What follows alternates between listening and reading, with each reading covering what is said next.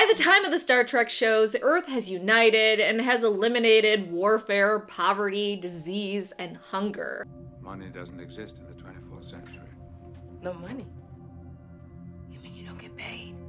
The acquisition of wealth is no longer the driving force in our lives. We work to better ourselves and the rest of humanity. So, it's a pretty boring place. But before they got to that point, some shit went down on planet Earth.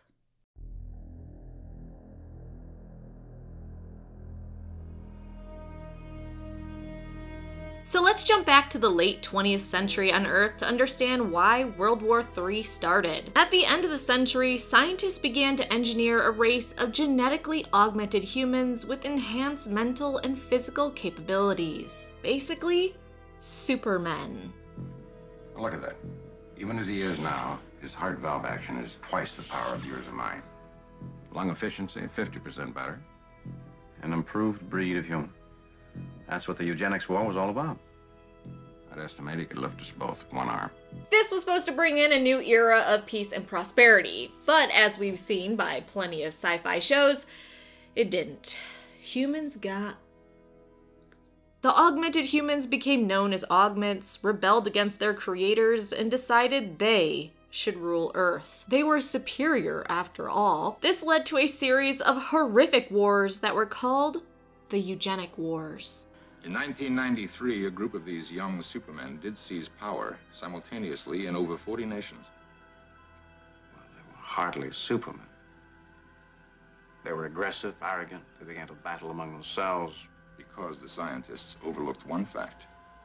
Superior ability breeds superior ambition. Non enhanced humans were fighting tooth and nail to beat back the genetic supermen. Luckily, the non enhanced humans eventually overpowered the augments and won. Except there was one powerful leader named Khan or something. He got away with his followers, but I'm, I'm sure that never led to anything important. However, that wasn't the end of Earth's conflicts, not by a long mile. Genetic manipulation and the tensions it had caused in the previous century began to boil over in the 21st century. In 2026, Colonel Philip Green led fellow terrorists in a crusade to wipe out impure humans. His actions led to a purge that spiraled Earth into World War III. This would be Earth's final global war, where 37 million people died and entire cities were wiped off the face of the planet. Green had no pity for the impure and fought endlessly to destroy them. He was so ruthless, he would attack and murder people while negotiating with them. Early in this war in 2036, the new United Nations were formed, declaring no Earth citizen could be made to answer for the crimes of their race or forebearers. However, despite this unity and declaration, the war still raged on, devastating Earth. And if you're wondering, the Vulcans, despite us not knowing about them, knew about us and knew we were just tearing ourselves apart with warfare, and they, they never stepped in, despite their own planet almost being destroyed through warring shit. And yeah, that actually did hurt them in our eyes when we learn years later that they knew what was happening and they never stepped in to help us.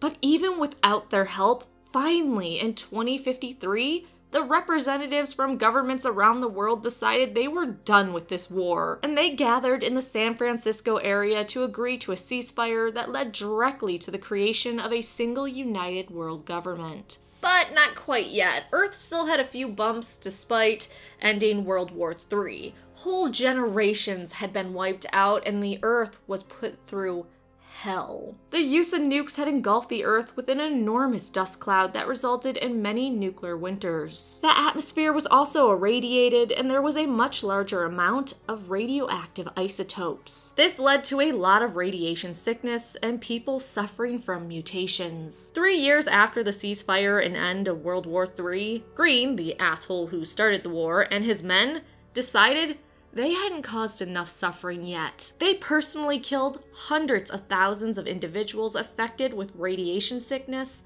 and other impurities, saying that their death ensured they didn't pass off mutations to further generations to suffer from. Colonel Green, Colonel Green, one of the many men history has misunderstood. For the sake of our children and our children's children, we must reject the impure and cast it out! While some considered this genocide, other people backed him, and this caused an even bigger divide among the people of Earth. Green euthanized hundreds of thousands who were afflicted with radiation damage. Their millions of descendants would have endured horrible disease, yet history History never says anything about that suffering that Green prevented. There is good news, though. In 2063, first contact was made with the Vulcans when Zefram Cochrane developed warp drive that drew the attention of a Vulcan ship passing nearby. This first contact led to an increase in unity and recovery post the war. Of course, there would be a war or two afterwards, and the new United Nations would collapse, leading to a culture that was barbaric and stated kill all the lawyers. And guilty until proven innocent. But by the end of the 21st century, humans had eliminated almost all poverty, hunger, war, and disease. Yeah, there was some chaos in the early 22nd century and some xenophobic shit in the mid 22nd century, but that's humans for you. They're just always being dicks, always finding something new to bitch about. Various unified world alliances would pop up, but all this death, destruction, and suffering eventually led to the United Earth Government in 2150. The United Earth Government would continue to exist even after it became a member of the United Federation of Planets it helped found in 2161. Oh yeah, then Earth would be attacked so many times by different species. Just a total bloodbath.